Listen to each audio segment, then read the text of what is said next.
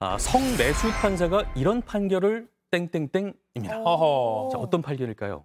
궁금하시죠? 네, 네, 네. 네, 지난달 서울 강남의 한 호텔에서 평일 업무 시간에 성매매한 혐의로 현직 판사 A 씨가 최근 검찰에 송치됐는데요. 이 판사 과거 성매매 알선 재판에 관여해서 아. 엄벌 필요성을 강조한 것으로 전해졌습니다. 아, 정말 똥 묻은 개가 겨 묻은 게 나무란다고 하잖아요. 아, 자기가 그렇게 판결을 해놓고서 네. 이러면 안 되죠. 근데 구체적으로 어떤 내용인가요? 네. A 판사가 근무했던 재판부에서 담당한 성매매 관련 사건 판결문을 보니까 항소 기각이나 실형 선고 등 대부분 유죄 취지의 판결이 내려졌습니다. 이 가운데 2021년 9월 채팅 앱을 통해서 돈을 받고 성매매를 날선한 피고인의 항소를 기각한 사례가 있는데요. 당시 재판부는 앱에 광고글을 올려서 성매매를 알선하고 그 대가를 취하는 행위를 반복했다면서 사회적 해악이 적지 않아서 엄벌할 필요성이 있다라고 지적했습니다. 네, 네. 판사 A 씨도 채팅 앱을 이용해서 조건 만남식 성매매를 한 것으로 알려졌는데요.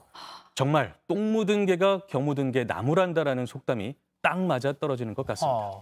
네, 판사 A 씨가 속한 재판부는 또 비슷한 성매매 알선 사건에서도 피고인들의 항소를 기각했던 일도 있었던 음. 걸로 알고 있거든요. 근데 한 성매매 업주에게는 경찰 단속 등을 피하기 위해서 CCTV를 설치하고 또 예약제로만 운영하는 등 이 성매매 업소 운영의 불법성을 잘 인식하고 있었던 것으로 보인다라고 질책하기도 음. 했다고 들었습니다. 그렇게 질책했던 그 재판부에 속했던 판사가 지금 성매매를 하다가 적발된 거예요. 그렇습니다. 네, 네, 네. 그리고 더큰 문제는 성매매 적발 후에 네. 법원이 제대로 대처를 하지 않고 그러니까 이게 뭐 아, 판사라서 그런 건지 법원이 제대로 대처를 안 하고 늑장을 부린 정황이 지금 또 나오고 있더라고요. 일단 이런 의혹이 밝혀지면 일단 업무 배제하는 게 우선 아니겠습니까? 그렇죠. 그렇죠. 네, 그런데 이 판사 A 씨는 성매매 적발 후에도 지난 20일까지 한 달 가까이 법원 재판 업무를 수행한 것으로 전해졌습니다. 하. 자, 이에 대해서 법원 측은 사실관계 조사에 시간이 소요되고 급박하게 기일 변경을 하기 어려워서